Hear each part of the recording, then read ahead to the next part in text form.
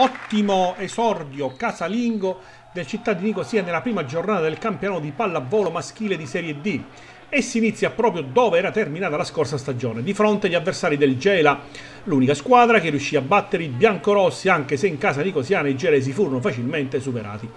Il Città di Nicosia ha superato gli avversari in 5 combattutissimi set, 25-19, 21-25, 25-19, 22-25 e 15-10 nel tie break. La squadra ha saputo dimostrare grinta, forza e concentrazione sapendo piegare nel momento giusto il difficile avversario.